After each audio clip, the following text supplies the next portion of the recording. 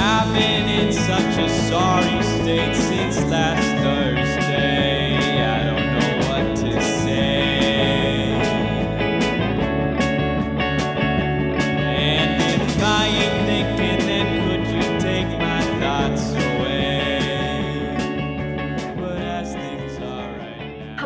And welcome back to another vlog. Today's actually the last day of my finals week. I have a final paper due tonight and then once that's over, like, I'm finished. I'm finished, it's summer. Ooh, before that I need to finish that final paper. It's for philosophy. I also need to start it. You can tell that procrastination is kind of a thing for me. With that being said, I'm gonna push that off even longer. Right now, I'm gonna go help my stepdad. We're building a vegetable garden by our house, and the huge, massive bags of soil have arrived. And of course, for the labor, he calls me, he wants me to wheelbarrow all of that cute, fun soil over into the vegetable garden. So we didn't have enough wood to make it all high like this. So we just made this section high. So my mother can garden in this section because she has bad knees and she won't be able to crouch down to this. We also have more of this netting stuff to put all the way down.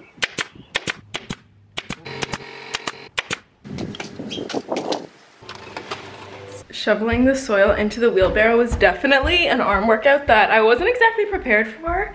Let me show you what's happening in our backyard. My mom's sitting out there with all the animals. You work hard, didn't you? It's so tiring. I'm sure you are. I put a better water for them.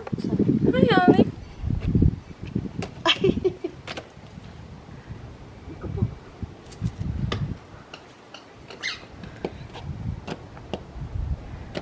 My cats always want to come outside, so my mom got this little tent thing from Amazon so that they could just sit out here and, you know, observe the birds and the squirrels and all that stuff. This is the brand. Lico. Lico. Doing that work in the garden did take a little bit out of me. So for a little bit of a boost before I do my schoolwork, I'm gonna make myself a matcha.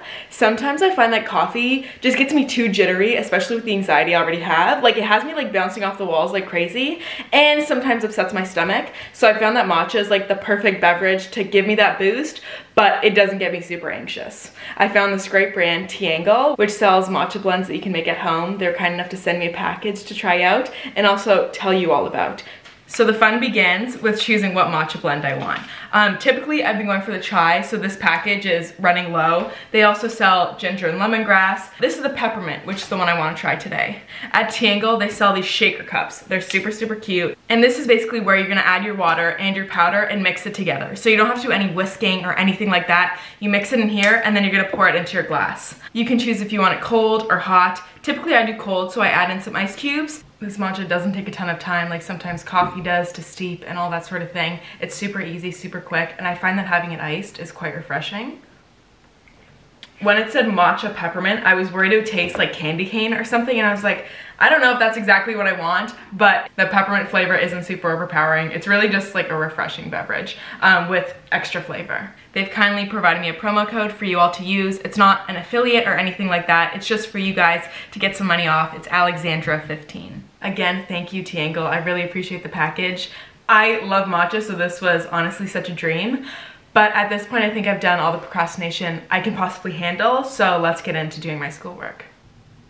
The essay is finally done. I have a rat accompanying me. Thank you for your help, Sprout. And it's also dark out. Working that last bit in my bed was probably not the best idea, but my bum was getting so sore from sitting on just like a hard surface. I was like, I can't sit here anymore. So I ended up here. I think it definitely, you know, extended the process just a little bit. It was a little bit hard to focus, but we made it through. I can't believe it. Wow, I genuinely thought I was gonna be submitting this late. We have three hours left. Let me just show you behind the scenes. So of course I have like the PowerPoints from the class. The MVP, um, you know, gotta look up other options for GRASP, gotta make my vocab bigger, and this was one of the papers I was reading. And BibMe coming in, I don't know how to do citations by myself without this.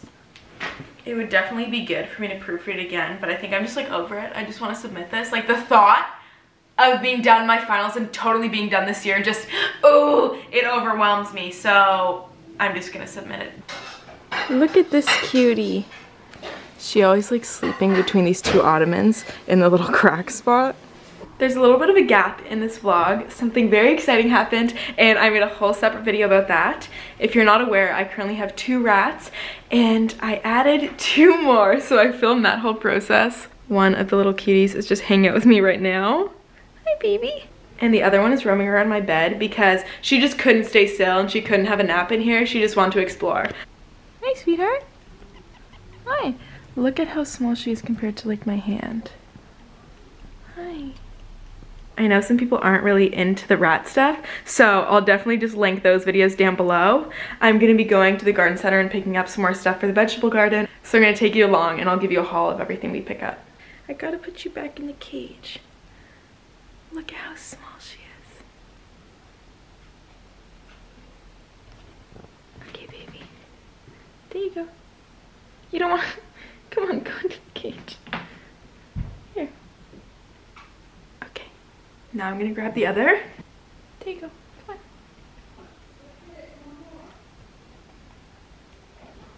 I still don't have names for them. I'm just, I'm so indecisive and I never really know what to name my pets. So if you have any good names for these two little ones, please comment them down below. I'd really, really appreciate it.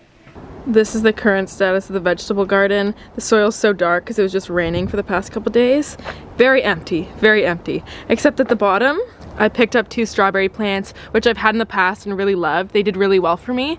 These are the Berry Galore White, so they'll have white flowers and then obviously the strawberries. This is just a raspberry bush. You can see it's so prickly. I haven't had one of these before, so I didn't know how it would go, so I just got the one.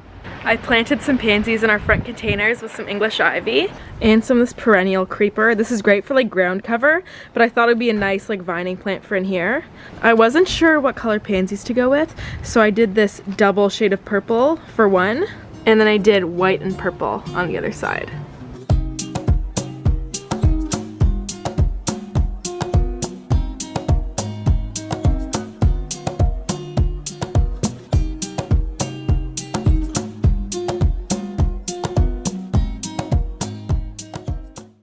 Sorry if you can hear the wind. Let me show you everything that we picked up.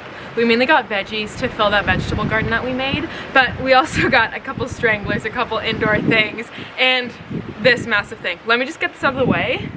This is a big English ivy, a climbing English ivy that's made for outside. If you can imagine ivies that climb up houses, that's basically what I want to do, but I'm going to trail it up our front tree. We couldn't just get like a regular inside ivy because it has to be really hardy and be able to stay in the winter months. So this is the one that they directed me to get. It was $20. Moving on to all the vegetables, we pretty much got two of everything. This is our first time with the vegetable garden, so in the future we might need a ton more, but we're kind of just experimenting right now. First off, we have two of these cucumbers. I don't eat cucumbers. I don't know who in the household does, but my stepdad said to pick these up.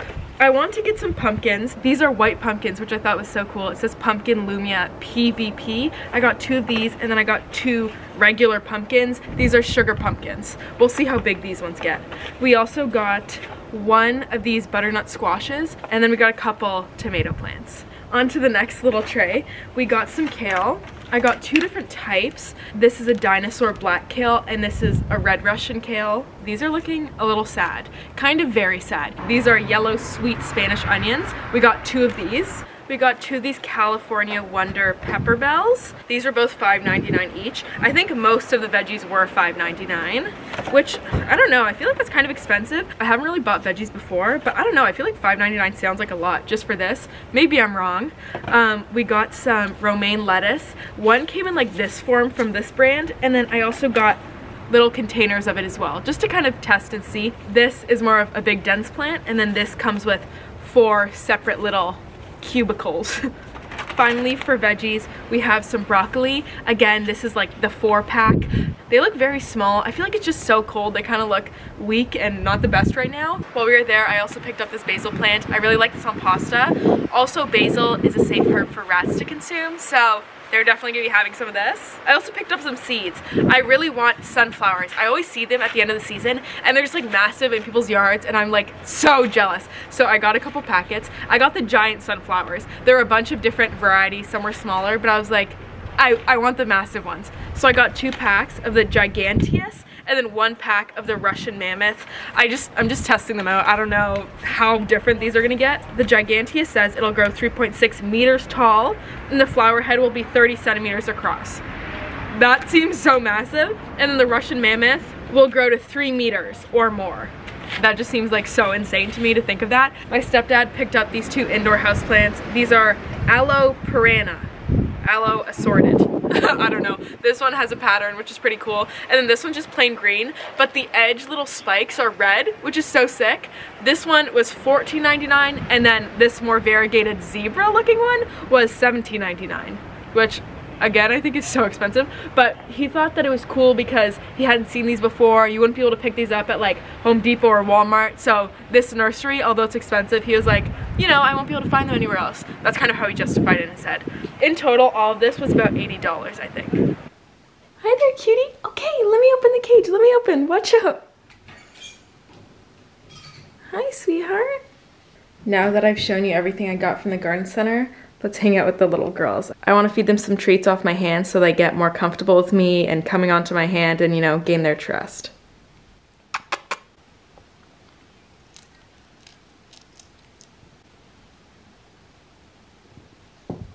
I got this pack of mealworms, so let me try to feed them one and see if they like it. You want this? Oops. I dropped it, but she took it. Let's try our other little girl. Okay, let's see if you like this. Ooh, okay, she took it. Usually, if there's something in my hand that they don't like, they just won't even take it. She's munching away.